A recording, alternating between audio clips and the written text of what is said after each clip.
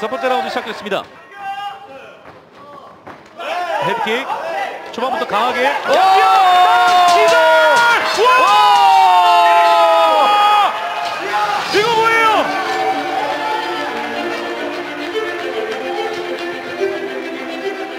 와, 예열 없이 바로 그냥 기어를 당겨버렸네요. 온몸에 소름이 돋습니다. 뭔가 이게 준비되는 과정 없이 일단 사우스포 잡고요. 킥 날리면서 압박 주고 바로 그냥 와!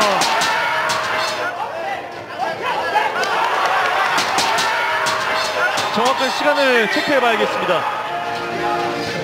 한 8초 걸렸습니다. 아 이거 진짜 제가 뭐랬습니까? 차세대 로드 FC 밴텀급의 주자 아니겠습니까? 예.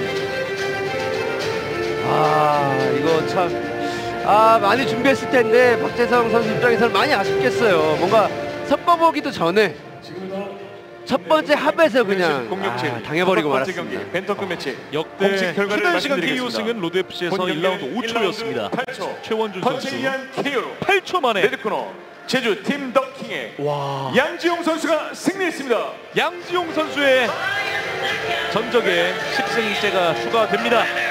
1라운드 KO 승리